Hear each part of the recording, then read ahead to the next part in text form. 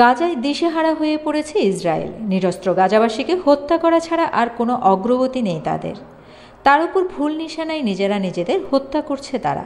এর আগে আকাশ থেকে ইসরায়েলের বোমা বর্ষণে মারা যায় তাদের কিছু সৈন্য। এবার অবরুদ্ধ গাজা উপত্যকায় ফিলিস্তিনি যোদ্ধাদের হাতে আটক তিন ইসরায়েলি বন্দীকে হামাস যোদ্ধা ভেবে গুলি করে হত্যা করেছে ইহুদিবাদী ইসরায়েলি সেনারা। ইসরায়েলি সেনা মুখপাত্র ড্যানিয়েল হেগারি এই খবর নিশ্চিত করেছেন।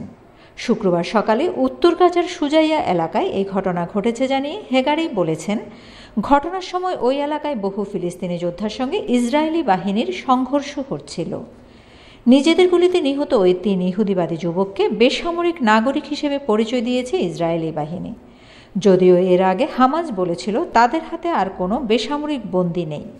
ওই তিন জিম্মিকে গুলি করে হত্যা করার সময় তারা মুক্ত অবস্থায় বিচরণ করছিল জানিয়ে হেগারি বলেন তারা হয়তো হামাসের হাত থেকে পালিয়ে এসেছিল অথবা হামাসের যোদ্ধারা তাদেরকে ছেড়ে দিয়েছিল।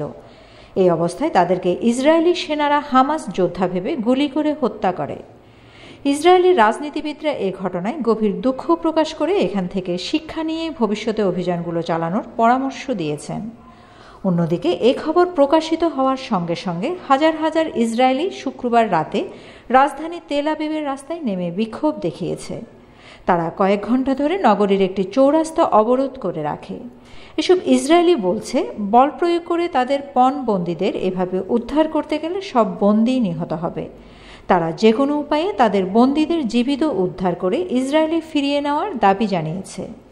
শামিমা চৌধুরী স্বামী বিএনএ নিউজ টোয়েন্টি ফোর।